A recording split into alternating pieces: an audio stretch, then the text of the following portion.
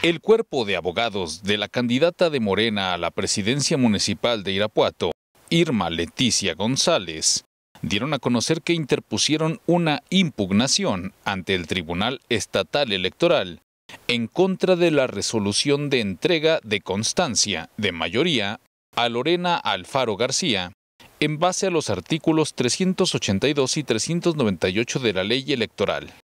Ignacio Morales, representante legal y tercer regidor de la planilla de Irma Leticia, dijo que la ley electoral establece en el artículo 397 el recurso de revisión ante el Tribunal Estatal Electoral por conducto de su oficialía de partes, dentro de los cinco días siguientes a la fecha de notificación del acto o resolución impugnados. Tanto Irma Leticia González como la dirigencia estatal de Morena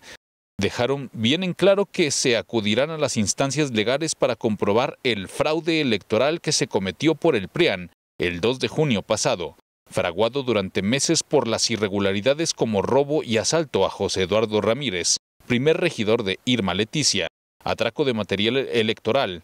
etc. Se tiene confianza en los tribunales electorales para resolver este fraude cometido en contra de toda una población que busca el cambio de gobierno y rechaza al PRIAN, representado por Lorena Alfaro.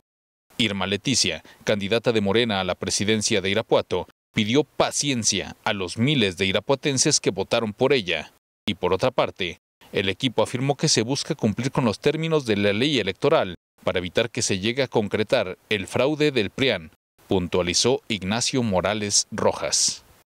Para el sistema de noticias de TV Libertad, con imágenes de Diego García, Héctor Almaguer.